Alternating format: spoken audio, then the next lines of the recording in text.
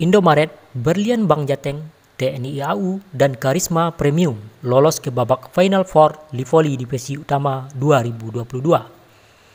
Indomaret lolos ke Final Four setelah di laga penentuan mengalahkan Ganevo dengan skor 3-0, 25-19, 25-19, 25-15. Sementara Berlian Bang Jateng lebih dulu menyegel satu tempat di babak Final Four karena pada dua laga sebelumnya memenangkan pertandingan atas Indomaret dan Ganevo.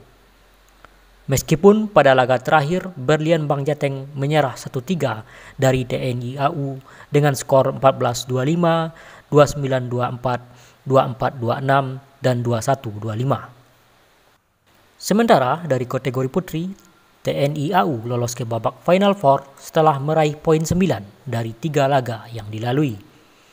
Karisma Premium menyusul TNI AU ke babak Final Four setelah di laga penentuan mengalahkan Wahana Express dengan skor 3-1, 23-25, 25-16, 22-25, 20-25.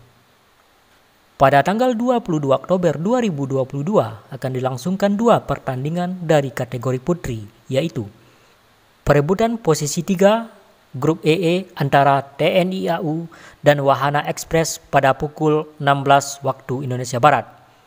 Tim yang kalah di laga ini akan terdegradasi ke Livoli Divisi 1. Laga kedua memainkan antara TNI AU versus Karisma Premium pada pukul 18.00 waktu Indonesia Barat.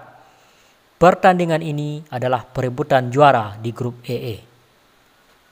Pada tanggal 23 Oktober 2022 akan dilangsungkan dua pertandingan dari kategori putra yaitu perebutan posisi 3 grup A antara TNI AU versus Ganevu pada pukul 16 waktu Indonesia Barat.